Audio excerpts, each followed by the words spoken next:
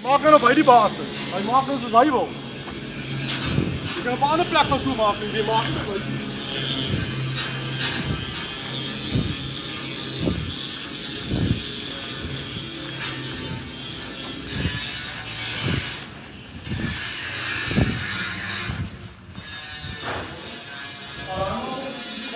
die toestemming wat hy het om by die heer te gevaar het? Wys ook wat daar vir Celeste as skrif ons uitdruk. Wat het is eerder net toestemming gehad. Eer het Saterdag al gekom, ek moet afgelei.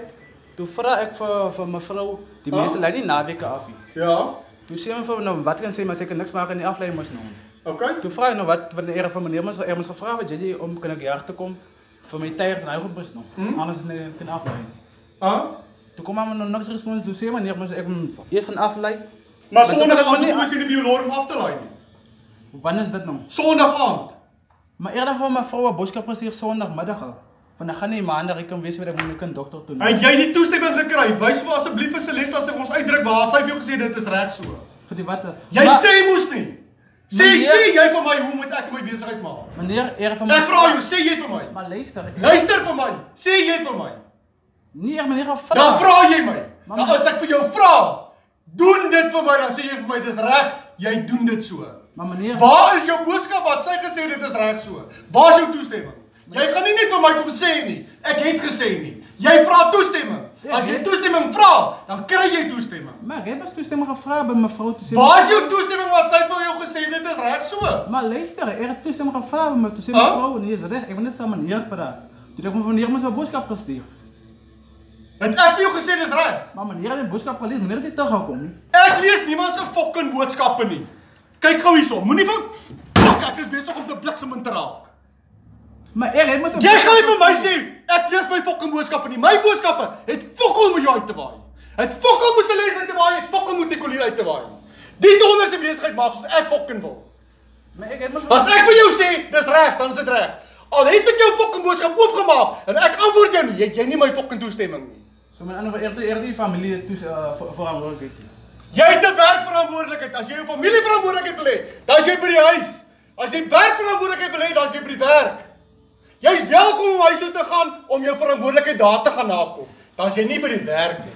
By die werk het jy werksverantwoordelikheid. By die huis het jy huisverantwoordelikheid. Maar meneer, ek het Jou verantwoordelikheid is om vir jou familie te sorg. Jy gaan nie vir jou familie sorg as jy by die huis sit nie. Dis hoekom jy werk het. Maar ek het mos van vir mevrou gevra. Gaan vra, het jy die toestemming? Wys vir my die toestemming. Maar ek het mos gevra toe sê Waar is die fucking toestemming?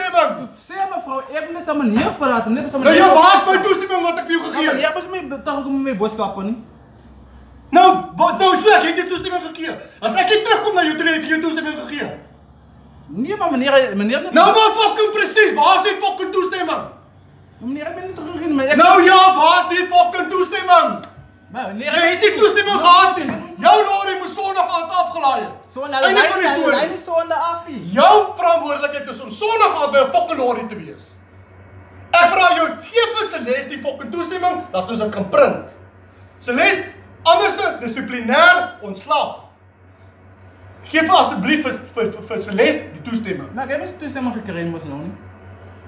Maar jy sal nie gister by die werk nie. Jy as jy nie by die werk is nie, moet jy toestemming hê. Anderste is jy jy van gefouteer. Jy kan nie maak soos jy wil nie. In my job. So, wys maar die toestemming of dis 'n mure ontslag. Een van twee goed. Dan ontslaan jy my. So maak soos dit. Dan ontslaan jy my. Of jy betaal gister se se se Ek gaan nie gister vir sit hoe? Hoe nou gister wil iets betaal? Met wat?